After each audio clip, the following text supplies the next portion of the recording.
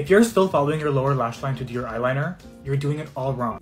I've been doing it all wrong. We're gonna try this. I've always had trouble with eyeliner because of my eye shape. Like, I don't, are they hooded? Are they not? Also, I have extra little folds, like little lonjitas that just make everything impossible.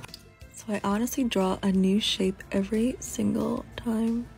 Okay, so there's that, and it changes every single time. I'm gonna try his way now. So the shape of this part of the brow, down. Okay, I'm doing it in real time. Do not judge me. I think I messed up. We're trying again. Okay, last time. Now I'm gonna connect it. Oh my god. This is so hard. I remember dating a guy who hated eyeliner. What was wrong with him? Okay. What what do we think? I'm gonna relax my eyes.